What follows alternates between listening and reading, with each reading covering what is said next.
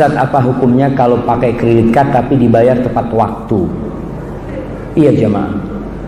Ada satu dosa yang kita remehkan selama ini, yaitu dosa riba.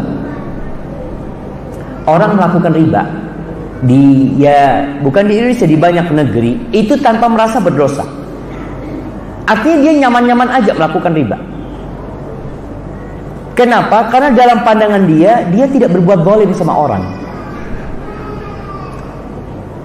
Padahal Allah itu yamhaqullahu riba wa yurbis sadaqah. Allah menghancurkan riba dan menumbuhkan sedekah. Allah mengumumkan perang kepada pelaku riba. Nabi sallallahu alaihi wasallam mengatakan, Nabi mengatakan sallallahu alaihi wasallam, "Riba ithnan aw thalathun wa sab'una bab." Ada 70 lebih pintu dosa riba. Adnaha lihat ibu-ibu, bapak-bapak. Dosa riba yang paling rendah itu Misal ayyanki rajul ummah.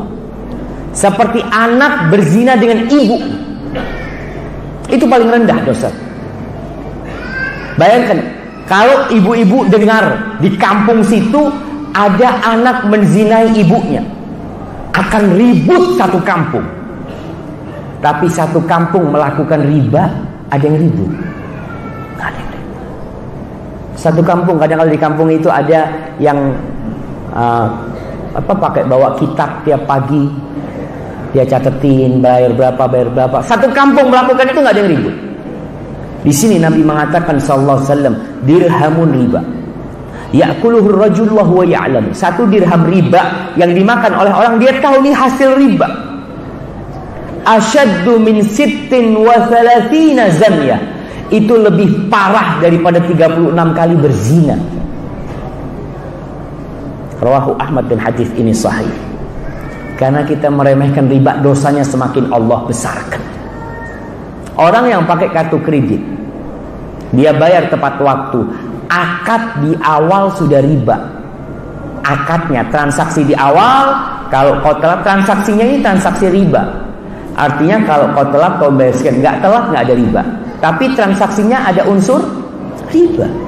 Dan itu riba jahiliyah. Orang-orang jahiliyah dulu kalau minjemin duit, dia kalau minjemin duit, anak pinjemin duit mamanya satu juta, nih satu juta. Kau bayar tanggal satu syawal. Itu nggak ada bunganya, nggak ada riba. Ketika tanggal satu syawal dia nggak bisa bayar, di sini ada transaksi riba. Dia mengatakan kalau kau mau bayar, fadl kalau mau nggak bayar tambahin. Sama dengan kartu kredit. Terjadi penambahan ketika telat bayar maka tinggalkan kamu. Dan kartu kredit ini membuat kita tersiksa. Apa tersiksanya? Antum akan beli sesuatu padahal antum nggak punya duit. Kartu kredit ini kan nggak ada duitnya, karena antum nggak punya duit. Antum tidak butuh antum beli karena ada kartu. Coba nggak ada kartu. Dan anak-anak nasihatkan, bapak-bapak yang punya duit, duitnya jangan ditaruh di bank. Ibu-ibu jangan ditaruh di bank. karena termasuk memodali riba. Artinya ibu-ibu kalau punya uang 1 M ditaruh di bank itu memodalin mereka untuk melakukan riba. Kita akan dapat dosa. Duit kita itu diputar sama mereka, dipinjamkan ke orang-orang sama mereka. Maka kalau punya duit, kecuali duit yang berputar. Orang Ustaz anak ini bisnis, uang itu berputar, nggak mungkin dipakai sama bank. Ya udah, ada jalan lain kalau memang harus pakai bank. Tapi kalau duit itu membeku, nggak dipakai, kau belikan emas, kau belikan tanah lah atau apa sehingga tidak dimanfaatkan oleh orang dan kau kalau beli tanah uang itu akan bertambah tanpa riba Allah akan berkain kepada engkau